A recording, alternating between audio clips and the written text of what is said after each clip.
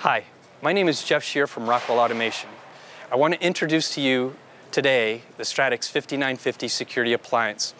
The Stratix 5950 security appliance was co-developed with Rockwell Automation and Cisco Systems. The Stratix 5950 is comprised of the Cisco Adaptive Security Appliance or ASA firewall technologies, as well as the Firepower intrusion detection and intrusion prevention system modules.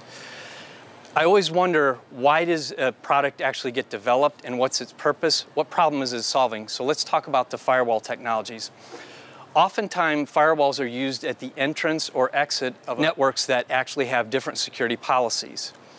Oftentimes in industrial settings, we find firewalls between the enterprise network and the industrial network. The limitations of this architecture is that we can't enforce security policies lower into the industrial zone.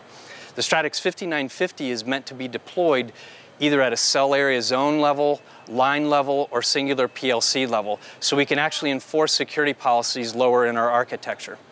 The second part of the Stratix 5950 is the intrusion detection and intrusion prevention system capabilities. Using deep packet inspection, or DPI, we're capable of actually looking past the packet header into the protocol for Common Industrial Protocol, or CIP, for DNP3, for Modbus, and other industrial protocols. The Stratix 5950 can be managed with its local onboard software, or it can be centrally managed through the Firesight management software and the Cisco Security Manager software.